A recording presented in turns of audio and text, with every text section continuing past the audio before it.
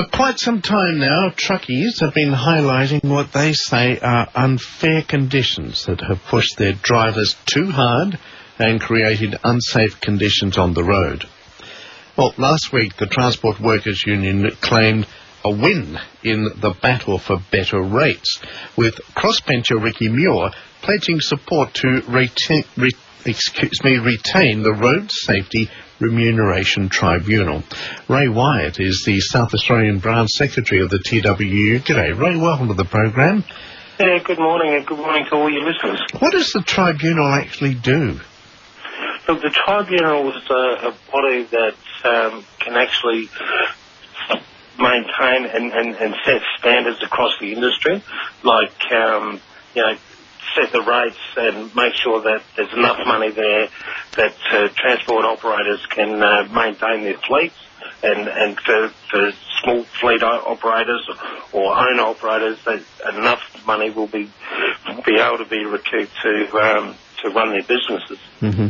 And you say the government wants to exit? Well, they, there's a view um, amongst the current government that it's red tape, the tribunal, we say it's not red tape, it's actually an instrument that um, will help maintain the lives of people using our road system.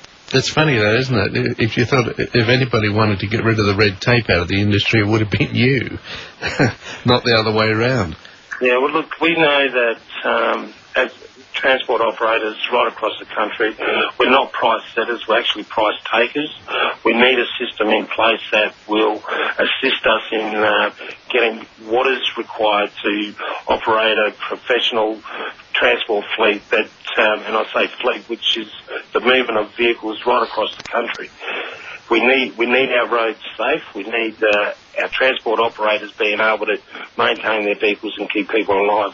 So you find you have found the tribunal effective? The tribunal is um, st- is still um, only relatively new. It has everything in, within its power to be able to do the job that, that is required, and that's to set safety standards and rates across the industry.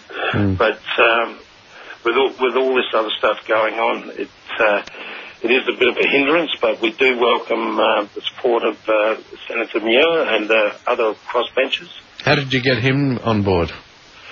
Well, if you talk about um, the, the, statistics where 62% uh, people being injured in road crashes are known, know someone who have been injured or killed in, in a road crash, 73% of Australians believe companies such as Coles that put economic pressure on truck drivers to drive longer and faster should be held accountable for the impact this has on road safety. Mm. 62% uh, of, of public support the, the safety tribunal. 43% support strengthening safety powers and 87% support fair pay for truck drivers. Okay, so his support is pivotal. Uh, will you need more? Oh, absolutely, and um, it'll be it'll be the test of uh, the will of the willing on uh, if it does go before the Senate, and uh, I encourage all all senators that uh, you know let's take the politics out of this. Road transport workers deserve safe places of work.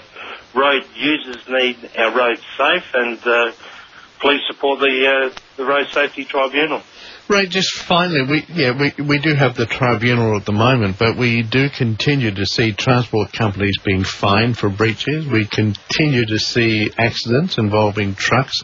We need a lot more to happen. Yeah, look, and I, it was really concerning, and and it come home to roost in South Australia only a, a few weeks ago when a when a major transport company grounded 2,800 trucks after the tragic. Um, fatalities on the uh, on the freeway coming down the hill. Mm. Now, to think that a, a, major company needed to ground its fleet after after the deaths on our roads is it's, it's scary. And you know, it was what's even more alarming is that it took two weeks to get that fleet back on the road. All right. So you know, there is uh, there is um, a problem out there, and it's real. That's Ray Wyatt, who's the TWU South Australian Branch Secretary. Thank you very much for your time.